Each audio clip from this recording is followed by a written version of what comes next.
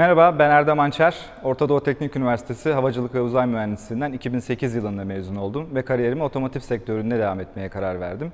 Bçelik Gestamp ailesine 2020 yılı başlarında katıldım. Bu süre zarfında farklı otomotiv ana sanayilerinde yeni ürün geliştirme projelerinde görev aldım. Bçelik Gestamp'ta satış ve iş geliştirme birim lideri olarak çalışıyorum. Temel olarak iş geliştirme birimimiz müşterilerimizin yeni model geliştirme ve mevcut model süreçlerinde teknik ve mali fizibiliteleri yöneten bir lokomotif görevinde.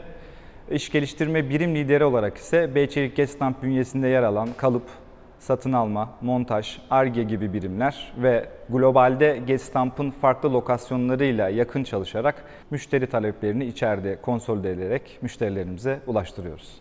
Bçelik Gestamp Türkiye'nin en büyük otomotiv yan sanayilerinden biri olarak köklü geçmişiyle otomotiv metal sektöründe daha güvenli ve hafif ürünlere yatırım yapan ve sürekli büyüyen bir şirket konumunda. Dolayısıyla bu anlamda yeni mezun veya kariyerinin başında olan arkadaşlarımız için de kariyerlerine adım atacakları ve uzun yıllar çalışabilecekleri bir okul niteliğinde olduğunu düşünüyorum. Yaptığınız işten keyif aldığınız, iş hayatınızla özel hayatınızı dengeleyebileceğiniz, e, kendinizi değerli hissedebileceğiniz bir çalışma hayatı Beyçelik Gestamp'ın artılarından sadece bazıları.